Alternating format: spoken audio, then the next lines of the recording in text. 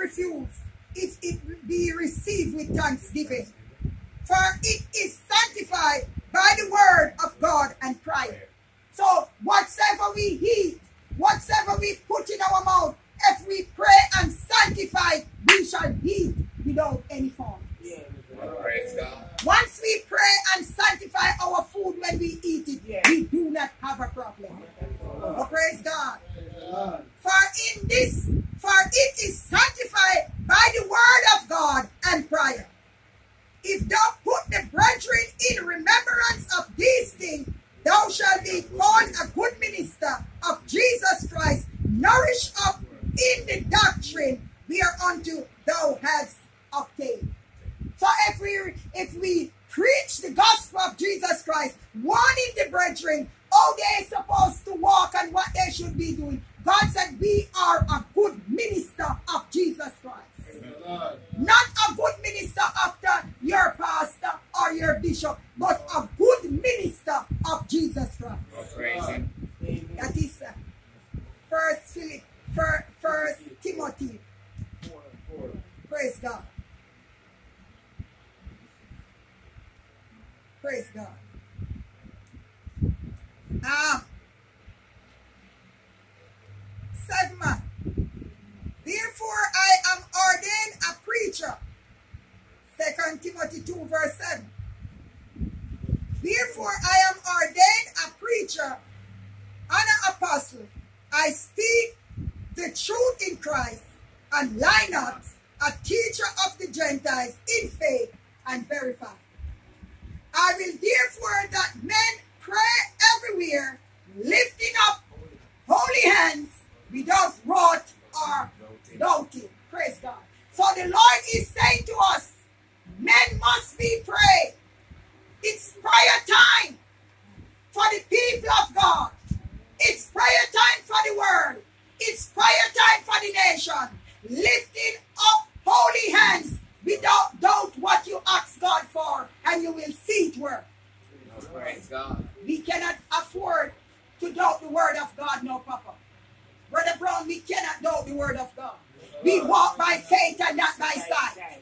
We believe God for every word that He said at this time. Because if we don't believe the word of God, it make no sense.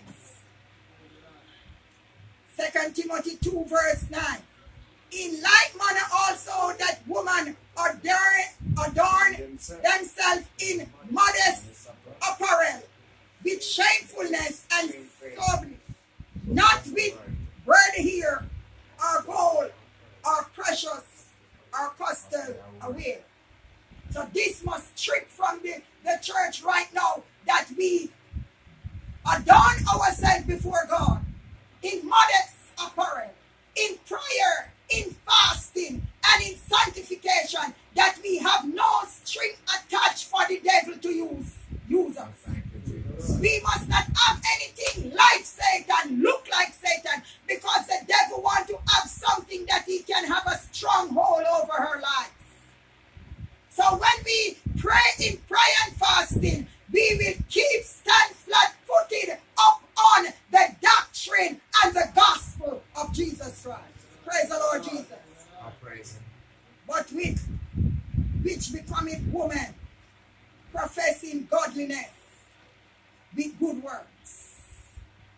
And this is one thing that caused the church to divide and the world to divide is because of the, this what Paul had said. And Paul was not speaking to sanctify, set apart woman. Paul was saying, let the woman learn in silence with all subjection. Praise the Lord. It was in Corinth when these women were so busybody asking their husband about what was going on in the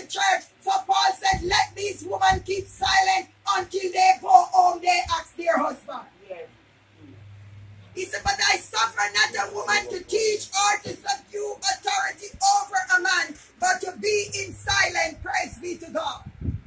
This is what caused a massive destruction and disaster over the world, over the nation, because some is saying woman to preach and woman must silent and woman must do that and woman must not do that. But what what did Jesus Christ did when he met the woman in St. John 4 at the well?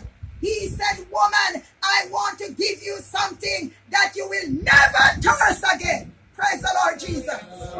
He said, out of your belly shall flow rivers of living water. And therefore that woman run into the city, leave all water pot and run in the city. And he goes there and he said, come on men, come on, I have seen a man who told me all things is not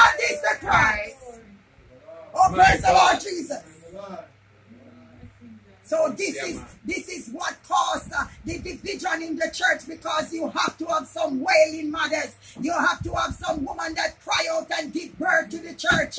You have to have some hallelujah woman in the church. The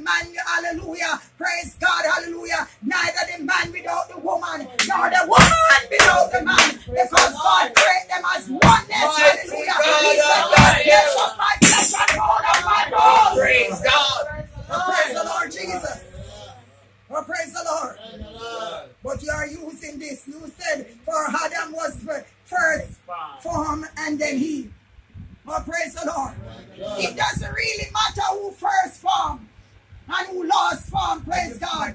The Bible said, praise God. Now is the hour when the true worshiper will worship Jesus in spirit. Hallelujah.